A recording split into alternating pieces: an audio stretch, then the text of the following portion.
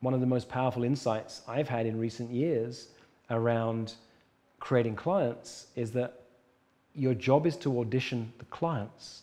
And so often as coaches, we've got it the other way around. We walk into the room thinking, how can I prove myself to this person? I hope they like me. I hope I can impress them. You have to turn a buyer into a seller and the seller into a buyer.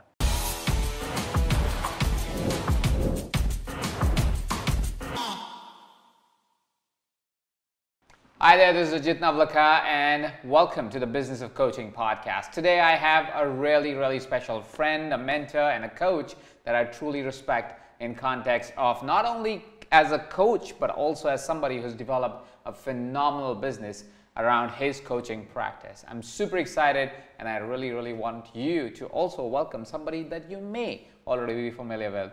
Please welcome Rich Litvin. Hey, Hi, Rich. Ajit. Hi. I'm so excited to have you today on this podcast. Yeah, I always look forward to our conversations. Yeah.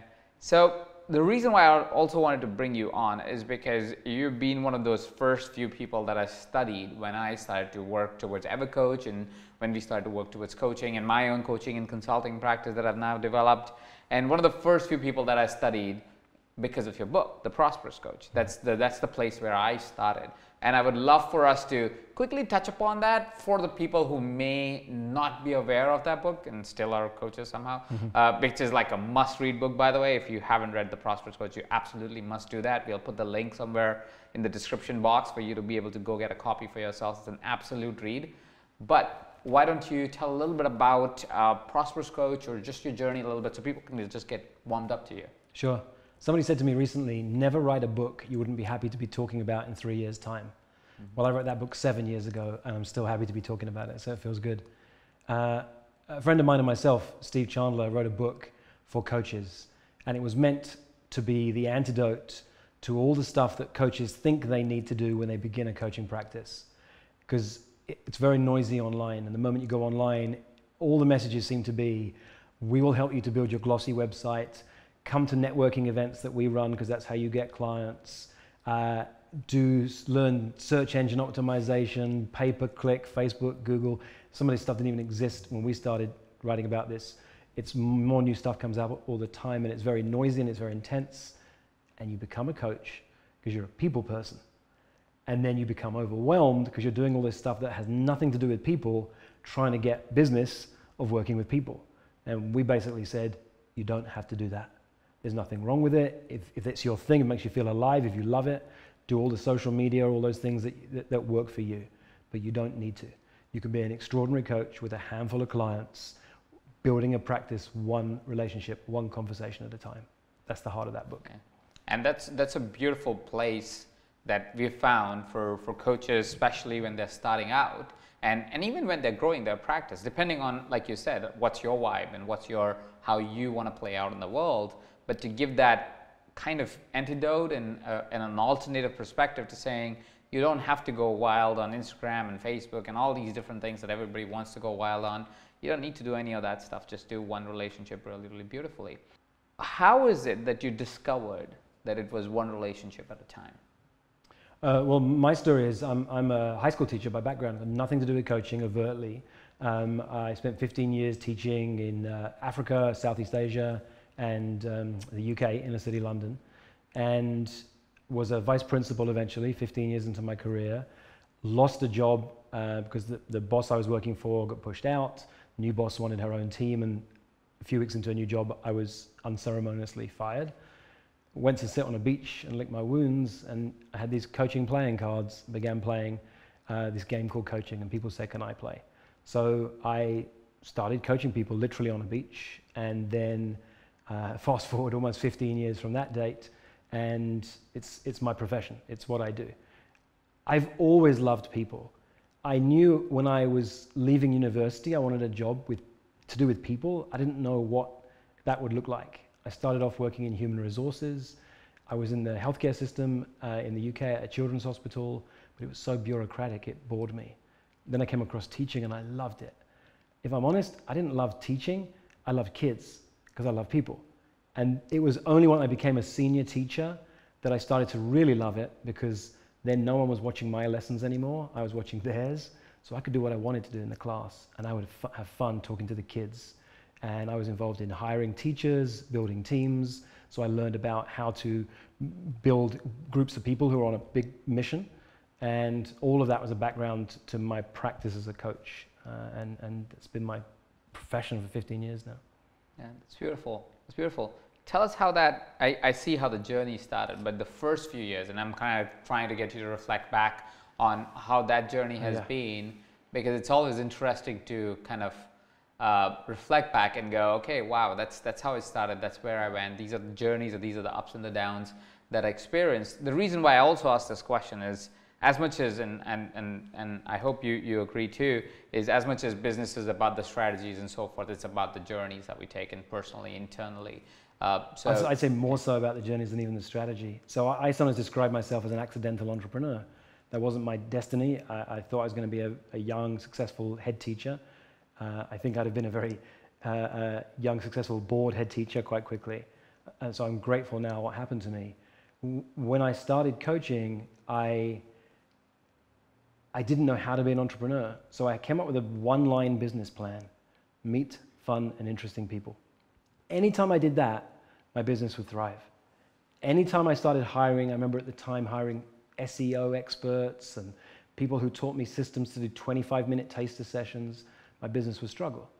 So that, that to this day is my, my one-line business plan, meet fun and interesting people, fun and interesting people. I've never had a, a, a, formal strategy, a strategic plan, a business plan. And, and I was doing that two or three years into coaching and building a great practice with some great clients. I was on the faculty of a couple of coaching schools. I was helping Steve Chandler by that point. I've been studying with Steve and I was helping him with his coaching school. And Steve said, Hey, do you want to write a book about how to get clients? Because it looks to me like you've written half of it already. Because back in those days, we had those online forums. Mm-hmm. And in the, faculty, in the schools I was the faculty on, I would share about how I was getting clients. People would ask me questions where do you get your clients from? And I talk about relationships. And, and over time, I just built up a lot of articles that I'd written and stories and answering questions and so on. So we said, yeah, let's jump in, let's write a book. And that was The Prosperous Coach. Uh, we, we, we didn't want to create a formula.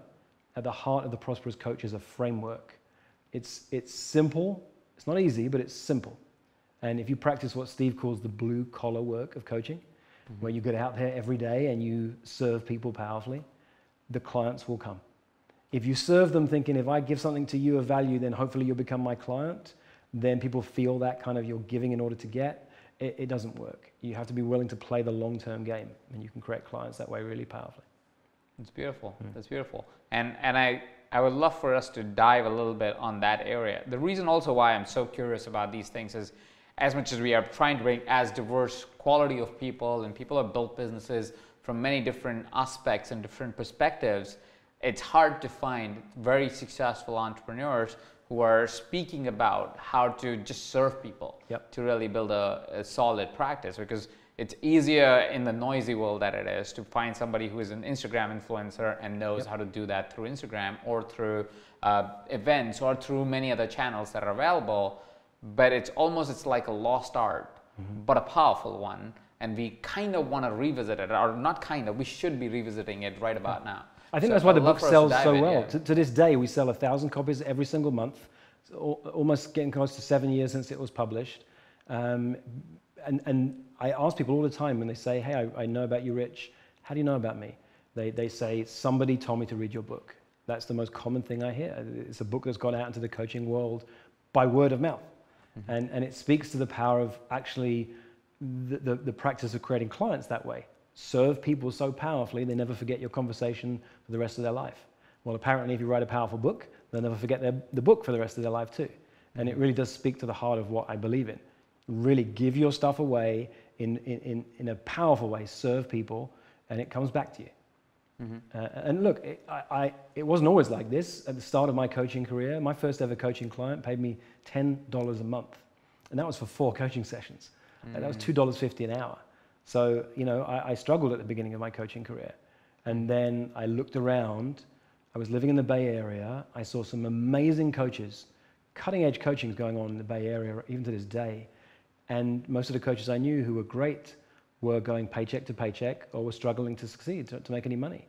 So I thought, and then I saw some really average coaches who were making a lot of money. And I'm very fortunate, very early on, I saw there was absolutely no correlation between how good you are as a coach and how much money you make. Mm-hmm. Look, you can't be a bad coach and succeed for very long. Mm-hmm. But if you've got some average or decent coaching skills and you know how to serve people, then you can succeed as a coach. Mm. And, and you have to, on top of that, be willing to sell. Mm-hmm. Uh, you sell by serving, but at some point you have to be willing to sell by saying, This is how much it costs. Are you willing to give me a check? Mm. So these are some. I, I love that you went there because what I wanted to go into next was also to ask what were some of the shifts that may have happened during the course of these 15 years that every single time it happened, it felt like it was a big exponential shift for you, uh, personally, of course? The earliest one, oh, actually, the very earliest one was that guy paying me $10 a month. I was happy with that. I was thrilled. Nobody had ever paid me money before for a service like that. I sit down, we talk, and then you send me a check. It was amazing to me. So I was thrilled with that. That was the first, wow, this could be my career. Mm-hmm. I can serve people and they'll pay me. That was, that was a life changing insight. Mm-hmm. The second one was the realization that, uh, so I, early days of my coaching, I started doing these instant confidence sessions. Mm-hmm. We'd spend 30 minutes on the phone and you would leave a sense of, with a sense of renewed power and confidence. I got really good at it. I did hundreds of these sessions. And one of my coaches said, Do you want to be known as the guy who does 30 minute instant confidence sessions for the rest of your life? And I went, Oh my God, no. I want to be known as the guy where you spend at least a year with me and your entire life transforms. And that was it. That was an insight moment. Uh, everything changes. And so I started saying out loud, This is what I do. How, do we, how does it work to work with you, Rich? Well, we spend a year together and your life transforms and this is how much it costs. And I got the insight early on. I, wanted, I think it was 20 grand I wanted a year. And I started saying it out loud. And people said no. And they said no again, and no again, and no again. I just got so many no's. I started saying it was $20,000 a year to work with me. And people say no, and no again, and no again, and no again. And I'd get creative. It wasn't like I didn't have any clients. I would get creative. I would say, okay, well, let's have a look at what would really serve you. It's not a year, I had one guy who paid me for a month of coaching, a single month, and we split it into four 15 minute sessions. Uh, I got someone who paid me to write his blog. I did whatever it took because I needed money. It was 11 months to the day from me saying out loud, This is how much it costs to work with me $20,000 when I'd served somebody powerfully. And she just looked me in the eyes at the end and said, Okay, great, I'm in. How do I pay you? And on the inside, I was like, Holy shit. And on the outside, I said, Oh, you send me a check. Mm. And we began, and that was my first $20,000 client.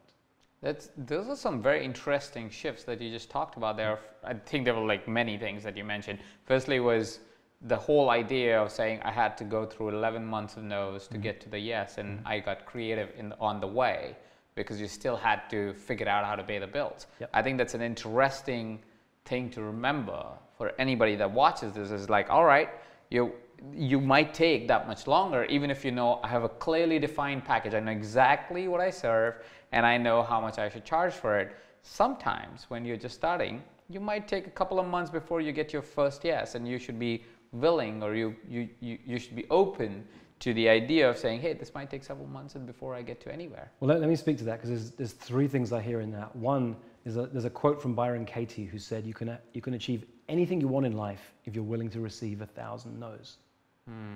Most people can't handle one no or two no's. I was at an event the other day and I was talking to the audience, and this is a group of coaches who want to build their practice. And, you know, it's $100,000 a year to work with me one on one these days. And I said to them something that really shocked the audience. I said, You realize I get more no's than almost all of you possibly put together. And people don't realize this that the more money you charge, actually, the more no's you have to be willing to receive. And it's hard to get a $100,000 no. I can sometimes really be serving someone, working with them, and, and they're interested to work with me, and at some point they decide it's not a yes to continue. It's not the right time, or something else is going on. And I'm human. That, that feels intense to be able to hold that energy for someone to say, now's not the right time when we're talking about $100,000. Hmm. So that's, that's one of the things to realize. Most people can't handle a single no. Mm-hmm. You've got to build your no muscle. You've got to build your ability to receive no's. Mm. So that relates to the second thing, which is um, there's a cartoonist called Hugh MacLeod who has a blog gaping void. And Hugh MacLeod has a, a distinction he calls sex and cash theory. And I love sex and cash theory. So he says it's all well and good to have your big, sexy projects, but sometimes you just need cash because you've got to pay the rent, the mortgage, the kids' school fees, or you just want a vacation. It's really important for coaches to realize, for any entrepreneur to realize that you've got to be paying attention to both. Because if you're only focused on the sexy work and the cash is running out, you're going to be in trouble and you won't ever be able to do the sexy stuff. Mm-hmm. So, yeah, I was doing things like writing someone else's blog because that brought in the cash that I needed to sustain myself. Mm. Uh, sometimes the cash might be coming from because you have a property that you're renting out. There's all sorts of things you can do, to, but get creative. If you need a client more than they need you, it, it's not a healthy place to be in, and you won't get clients that way. That's that's so true, and I love the sex and cash theory. That's mm. such a brilliant idea to just simply have even that distinction in your mind to go, oh, uh, yes, you want to be this amazing coach, but sometimes you gotta do the work that you gotta do for the cash, and yep. and that's okay. It's a part of the journey. So, so, so that relates to the third thing. Yeah. Is I think almost in any business, Ajit, th- three years, right? You've got to be in it for three. You've got to commit to the long term. If you don't believe all the stuff you read online, I see these ads in my Facebook feed. You know, uh, uh, seven days to seven figures. I saw one the other day. It said, "I will teach you the precise blueprint for how I built my thirty million dollar business." Yeah, I mean, you know, it's it's as an entrepreneur, you know this. Like that, that's it doesn't work that way even if it was true, I don't know about this person, but even if they had got a $30 million business, there was no precise blueprint because it doesn't work that way. Because if it did, we could just save time and read Richard Branson's book and we'd all be billionaires. so you've got to commit to the long term. You've really got to be in it for at least three years. In, in business, they call it the J curve of business. There's this dip that you go through when you start any new business. If you're a new coach, it doesn't matter if you've been in uh, as an entrepreneur or you've been uh, uh, an executive for 20 years, you're in startup mode when you become a coach. And when you're in startup mode, the reason so many startups get started by spotty teenage kids in their parents' basements, because they live on ramen noodles. If you're not willing to live on ramen noodles for a while, it's going to be difficult for you as a coach. It's really important I say that. And coaching is not for everyone. And I feel it's important I say that too. Absolutely. Because one of the things I see is about 10 minutes after becoming a coach, people realize, this is tough. But there are people who could learn from me because I'm 10 minutes ahead of them, and that's beginner coaches. And I see new coaches saying, I'm going to teach coaches how to build a practice when they don't have any success. They've never got any clients themselves.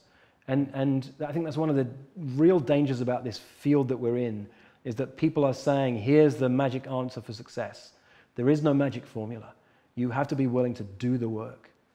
It is so true, and that was one of the reasons why we started EverCoach is to stop the cycle of of people just getting into the business to teach other people how to get into the business, and we are like, it's not it's not doing any good to anyone. Like people who are actually good, they're not feeling because they end up with working with somebody who's just getting into the business to teach people how to get into the business, and they end up working even if they have tremendous amount of experience. Now they're jaded mm. because they feel everybody is this is not really a really lucrative business or it doesn't work or whatever that is, the story they start telling themselves. And we said there has to be somebody who wets everybody and says, hey, every single person that we will bring on board, at least we know their backstory. We know where they're coming from. Are, is there any truth to what they're saying? Are they making blanket promises like, I'll give you my blueprint for $30 million? Well, we all know. And the thing is, I think we all kind of know that it's not true, mm. but still we fall for it. Mm. Because that, why do you think that happens? Why do we fall for the shiny objects. Because we're human, because we're human. We're, we're craving the, the quick answer. Um, I'm less, so there are, there are three ways to look at life. Uh, there's simplicity. Most people crave simplicity. It's why they click on the link in their Facebook feed that says uh, seven steps to seven figures. Then there's complexity. Beyond simplicity is complexity. You make your business systems complex enough, you can sell it. It's why some of the big consulting companies have made millions of dollars a year because you're going to buy into their intellectual property and have the complexity they sell. I'm interested in the simplicity on the other side of complexity. Mm. The simplicity on the other side of complexity. When I'm coaching extraordinary top performers, I'm looking for the one thing that will shift everything, the tiniest possible shift that has a big impact on their life. Beautiful, beautiful. What are some of the other mental shifts that you could recall right now that you think would be valuable for somebody getting into this business or is already in this business and is hoping to find that simplicity beyond the complexity? Okay, I'll tell you an interesting one which I haven't really shared much in public. So, the, the irony of the Prosperous Coach coming out is that I became known as a coach. And then the, I started to put on some events where I would share some of the stuff in the Prosperous Coach. And did really well. So I built this company where we'd grown to 10 employees. We were doing two big events a year and it felt great. I was growing this amazing team of really top performers. I had some great people I was working with. And what happened over time is I realized, oh no, it, it sound, the problem with talking to someone who's successful and asking them to track back is that they remember the things that went well. And so when you're drawing out the stories of success, and people say, well, let me copy them, is they can miss stuff. So I'm trying to catch the things that I would miss. So it wasn't that I caught one day what was working and what wasn't. I had an argument with my bookkeeper and I started crying because I was so tired and burnt out and exhausted because I'd spent the last few years building a team, managing a team, leading a team, and I was doing all the things that didn't excite me and thrill me any longer. I, I'd spent over a decade, 15 years doing that in the education system. I didn't want to be that kind of leader anymore. And here I was, I've been caught back in it because I was being successful, which was driving me to the next stage. Everyone says that it's important to scale up, and I've been doing that. And the first thing that happened is I stopped doing something uh, it was a very lucrative part of my business, the coaching salons I'd run for years. Um, and I cut them out because I was just tired and I didn't have the energy to do them anymore. It, it was several hundred thousand dollars a year, mostly profit, which I just said, I, it doesn't matter. I, I, get paid in other ways than money and, and time and energy. I've got two little kids and I'm burnt out. I can't do that anymore. I sometimes look back and think maybe that was a bit of a mistake because it was tough to be in business for a year after that because I cut out the most lucrative part of my business. Mm-hmm. But I cut that out and I cut my team down from 10 people down to three. Instead of scaling up, I was scaling back and I felt great. I just felt really good. I could concentrate on what I love to do. I said to my team, I've forgotten the heart of the prosperous coach. I've forgotten my one line business plan. Spend time with fun and interesting people. I said, let's fill my calendar conversations with fun and interesting people. And I began to do that. And life began to get really fun and good again. So I, am yeah, let me pause there and see what comes up for you, and I can tell more of that story. Mm-hmm.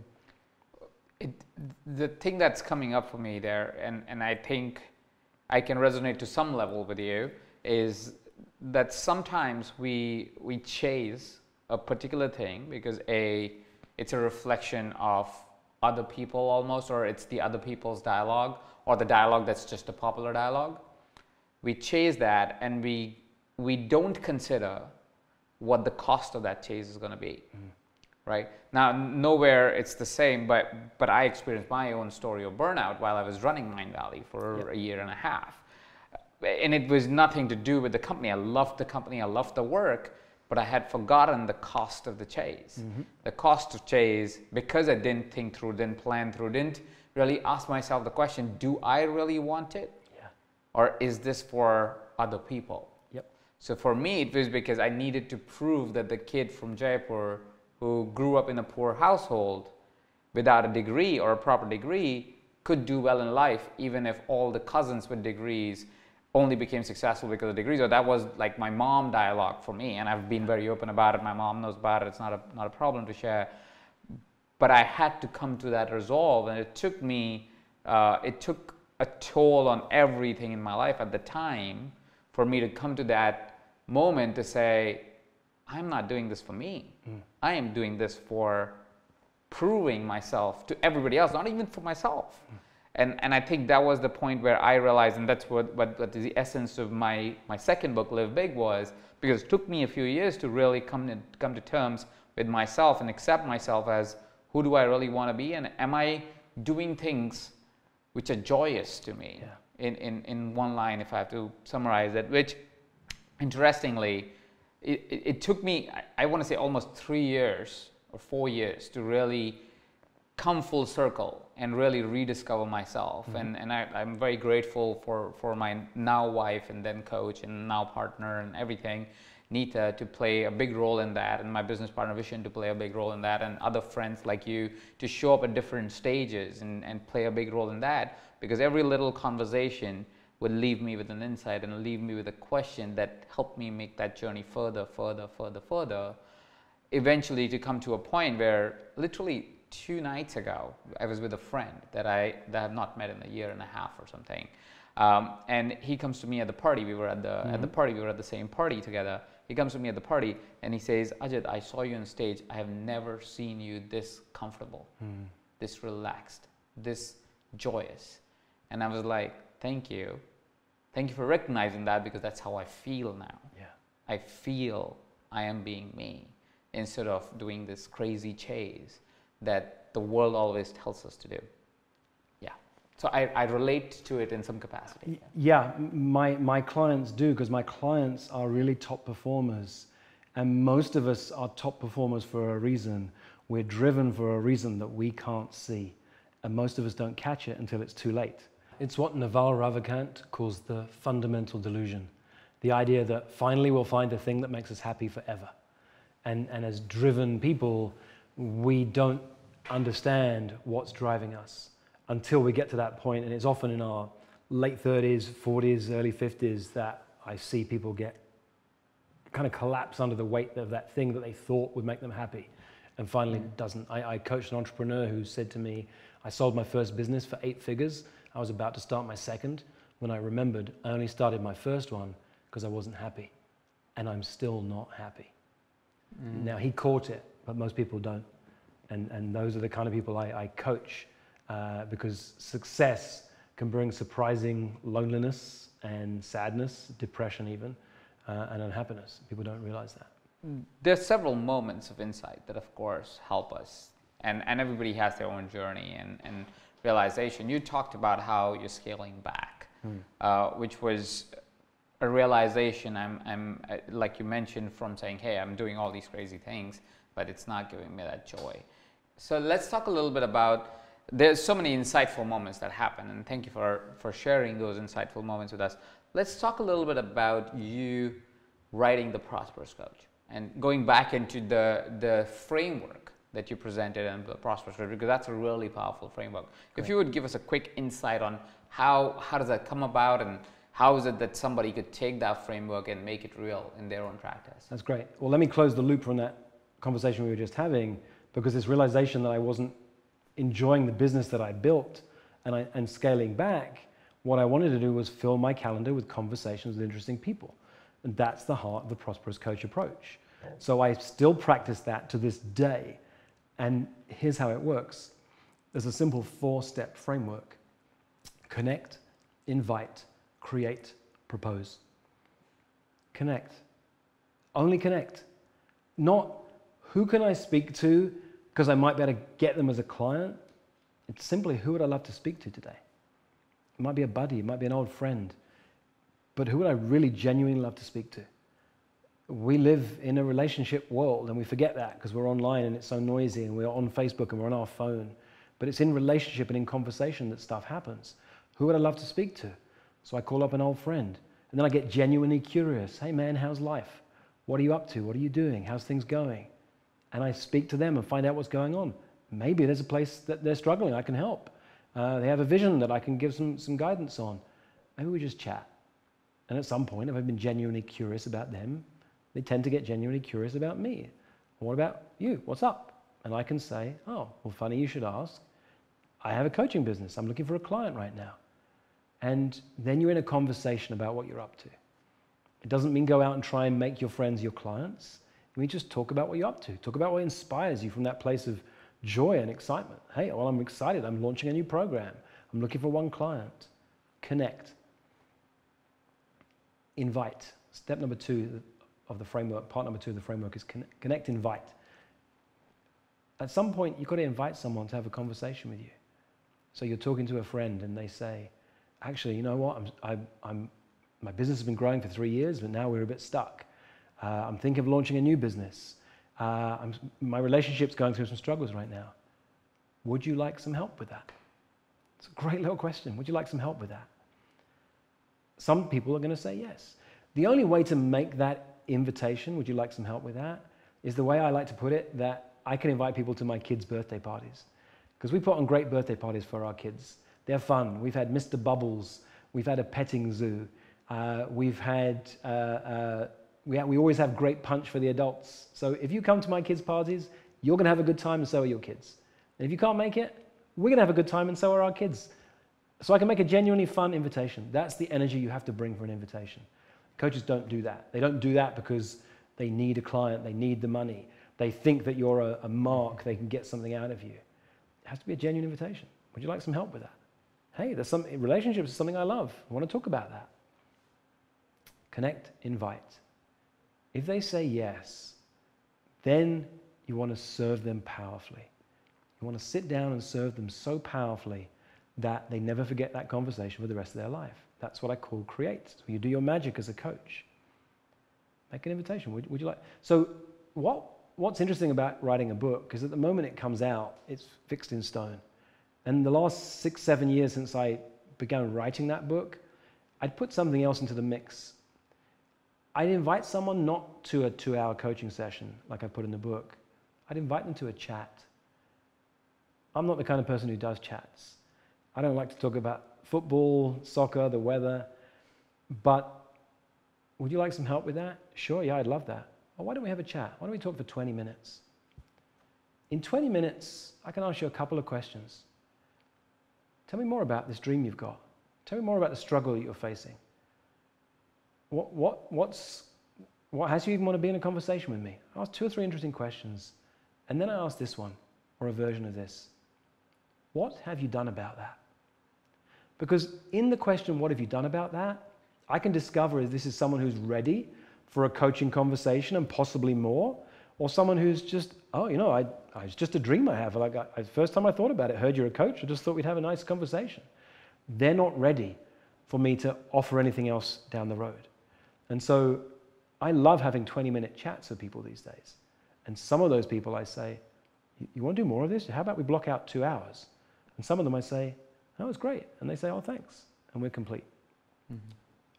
What have you done about that is my filter for who I'm going to spend more time with. Ah, that's beautiful. So connect, invite, create, and propose. At some point, if I'm sitting down with you and I have served you powerfully enough, one of two things might happen. Actually, one of more than two things. One, you might go, Thanks, Rich, that was great. And we're done. You might go, Thanks, Rich, that was great. How do I get more of this? And the third thing is, you might say, Thanks, that was great. And I might go, Well, if you think this was great, can you imagine what it would be like if we did this week after week after week for six months? Is that of interest to you? Would you like to have a conversation on what it might look like for us to create something where I can really serve you powerfully into the future? And then we get ourselves into a proposal conversation. Mm. A proposal looks like this. At some point, I say, well, we'd work together for this amount of time and this amount of money. Mm-hmm. And then you would say, I'm in, or I'll think about it, or no, thank you. Mm-hmm. That's a powerful proposal. When you tell them this is what it looks like. Most mm-hmm. coaches are terrified. They're mm-hmm. terrified to say a number. They're terrified to ask for someone to work with them. They'll, uh, uh, they'll serve people. They, they'll hold something back because they think if I serve you too powerfully, then you, I've given it all away. And I say the opposite. No, serve them so powerfully that, that if, if they get everything they need from that conversation they're done forever, that's going to be someone who's going to sing my praises forever. Uh, mm. They might never be a client, but I don't want to ever hold anything back. Mm. Is this, why do you think coaches hold back? Because that's one thing that you said in the passing. But before we get to that question, actually, that's really powerful that you mentioned about the 20 minute conversation that you have pre pre uh, pre the two hour coaching conversation because that's something that I discovered in in that time as well. I did the study of the prosperous coach. I've studied many other ways of really being able to build a coaching business and consulting business, and and in the process, I figured the same thing that you're mentioning. It's you don't want to even get into a deep conversation with someone when they're not even thinking about that. They're just on the surface suggesting they have a problem, but they don't really mean it. They don't want to work on it. They don't have any interest in actually pursuing even that direction. So it's great to have that a pre-conversation, mm-hmm. if I may, or a chat, like you say, yeah. to say, hey, let's see if you're even actually really looking for something. And, and if you are, then maybe we'll have a conversation if it feels right in mm-hmm. that 20 minutes, 30 minutes, whatever the time frame is. So thank you for sharing that. I think that's, that's an important piece that sometimes we miss mm-hmm. uh, as, as coaches. Yeah. Now, coming to the question that I have, what do you think is the reason? And, and I'm also looking for if there is a is if there was a mindset that you also experience or you are seeing it as a pattern where coaches are hesitant to position there or make a proposal where they would state their price or would tell them what exactly it is because if you think about it from just human nature we know we would never purchase the product that we don't understand or we don't know the price of like it's just really hard to make that purchase decision intellectually we understand that as human beings, but as coaches, for whatever reason, we are not able to process that and be able to propose that. Why do you think that happens? I think it's a number of reasons. I think one of the reasons is we think that someone is paying us for ourselves. Mm-hmm. And it's really, it's easy to sell my couch when I don't need it any longer or my old computer because I just put a number on it and someone wants it, they'll take it. If they don't, they won't. But I think at the beginning of coaching that I'm selling me, and it's terrifying. I, I, I help, I'm extraordinarily good at helping leaders and executives who've had a very successful career behind them become coaches. Because what I have to do is mess with their thinking for a while to remind them. It's a bit like the story of Picasso who's sitting at a cafe and he, he sketches one of his little sketches, and a woman says, Could I have one of those? And he says, Sure that will be $10,000. And she says, But it took you about 10 seconds. He looks her in the eyes and says, Madam, that took me my entire life. So we make up this story about our, our we're selling us and, and we get terrified out of it, or we're a new coach, but we forget about our track record of success behind us. So I have to mess with people's thinking to put all of that to one side. You're not selling yourself. You're not even selling this thing called coaching. What you're selling is an opportunity for that person to work on their dreams. And their dreams are priceless. And they get to decide if they want to invest in their dreams or not.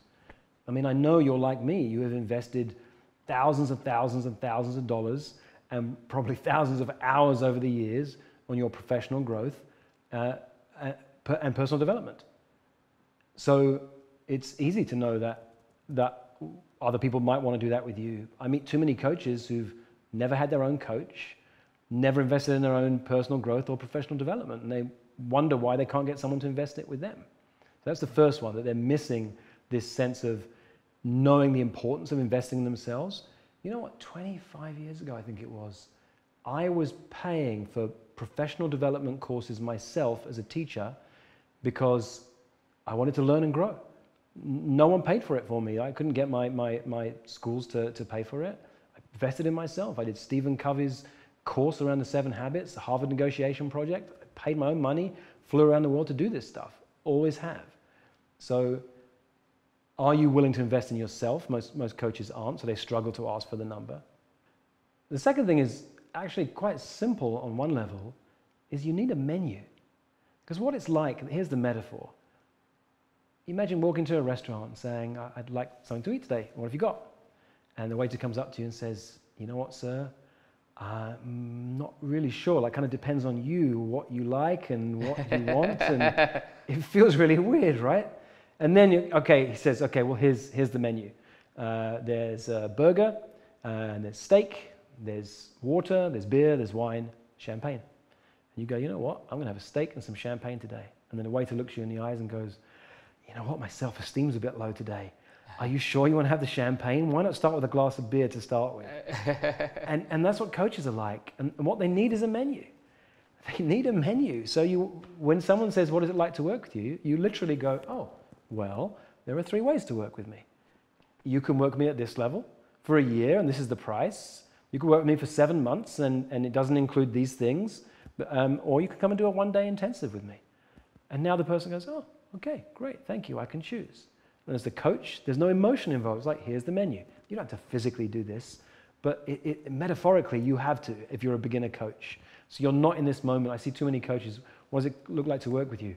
Well, it depends what you want, and there's this real fuzziness. They're afraid mm-hmm. to say a number, and a menu mm-hmm. just helps. Yeah, no, that's that's powerful. So if nothing else, take away that is to mm-hmm. have your menu ready. Yeah. Um, and don't associate it to your own self worth, self esteem, or it's not about you. It's about the person's dream that you're talking to. So here's what I'll throw in as an even more powerful distinction on top of that. I call it the thousand dollar hamburger. Mm. So there's a restaurant I go to in Hawaii sometimes that has a thousand dollar hamburger on the menu. Mm. And I asked the owner once, does anyone ever buy this? And he said, you know, about three or four times in the last 10 years. Every once in a while, somebody wants to impress somebody or they want to take a risk and have something interesting to eat. And I think as coaches, we need a thousand dollar hamburger on our menus. You know, I, I wear an Apple Watch. I went to buy this just for the fitness tracking. And I came home thinking, oh, it was a lot cheaper than I thought it would be. Until I realized that they'd positioned their $1,000 watch. So when I got the cheapest watch on their list, mm-hmm. the $350 watch, I thought, oh, I got myself, myself a cheap watch. I got a bargain. Mm-hmm. But that's more than I usually spend on a watch. Mm. So a $1,000 menu, uh, item on your menu, a $1,000 hamburger, positions everything else. So I think coaches struggle because they only have one number.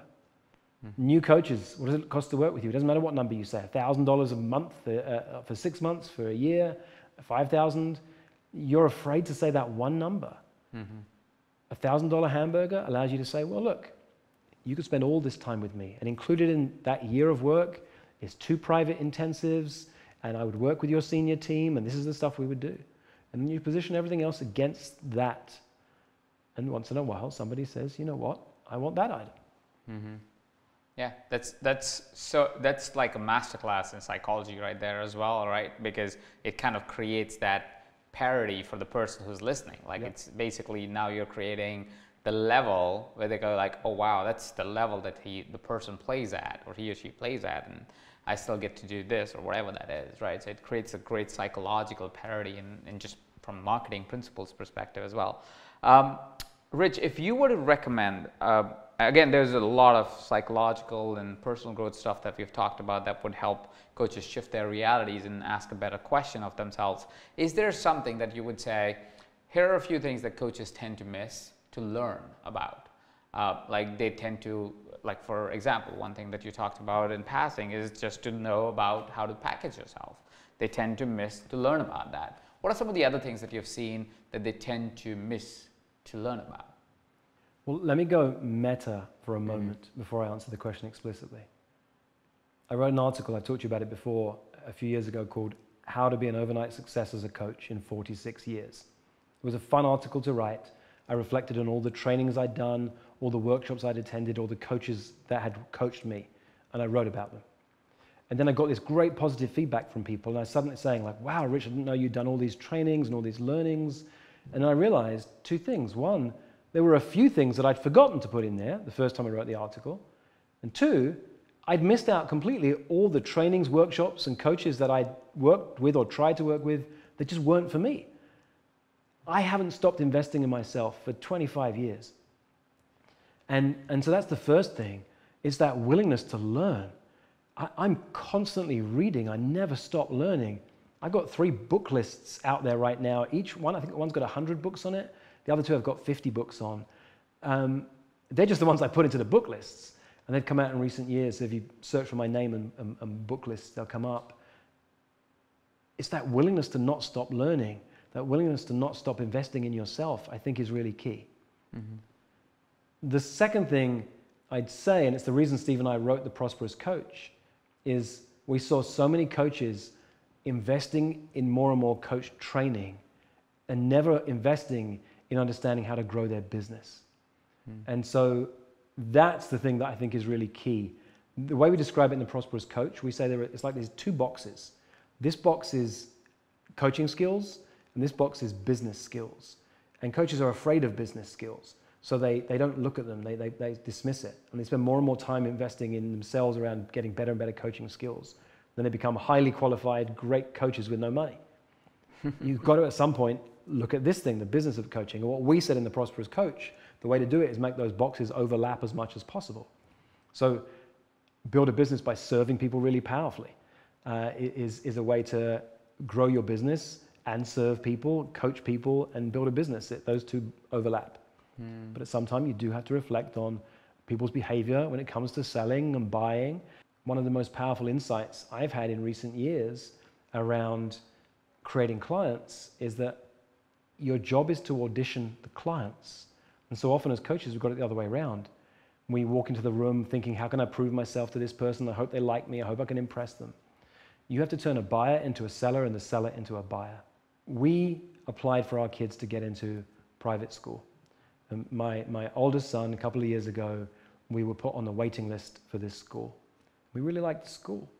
And I realized, no, they didn't, it wasn't, he was only five or six at a time, so they didn't assess him. It was just based on, that had so many boys born in this month, and you know, they just had to break it down and get some evenness across, spread across the uh, number of kids in the class. But I wrote them a letter. I said, look, I know we're on the waiting list, but I realized I didn't tell you who my wife is in the world and what she does and what she believes in. And let me tell you who I am and what I do and what I believe in and who we are as a family and, and who we are as parents and what we bring when we come to a school.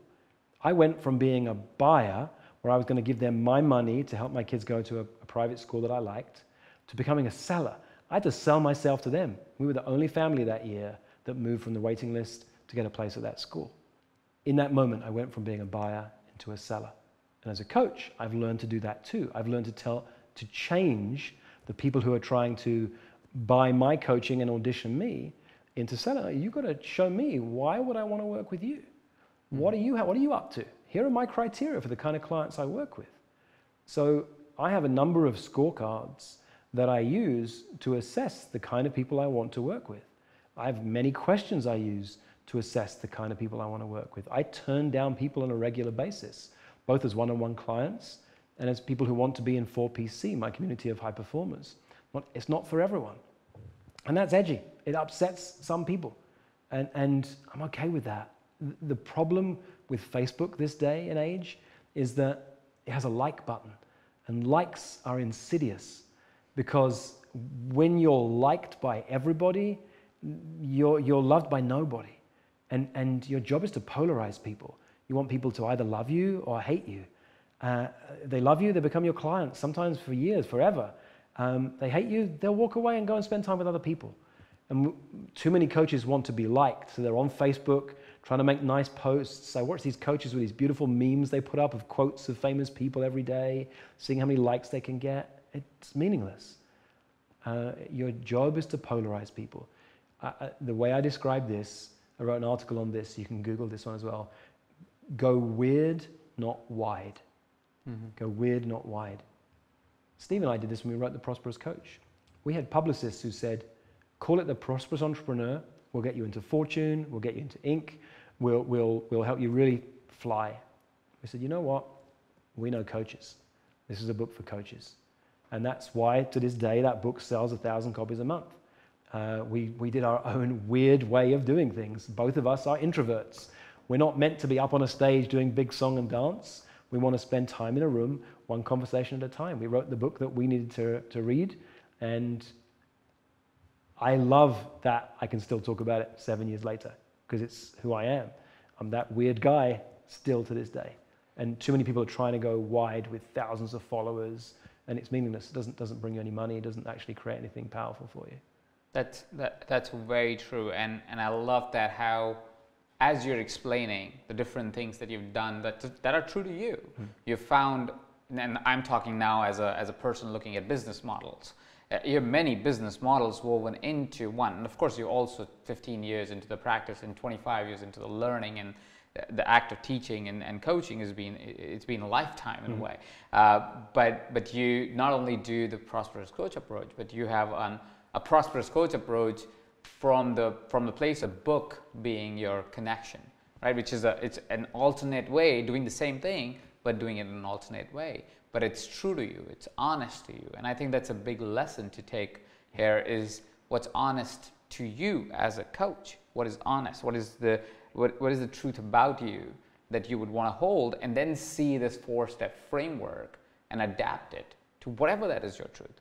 There's a great book by Austin Kleon called Show Your Work. Mm-hmm. I have a body of work right now. People, I always ask people, how do you know about me when they come up to me and speak to me?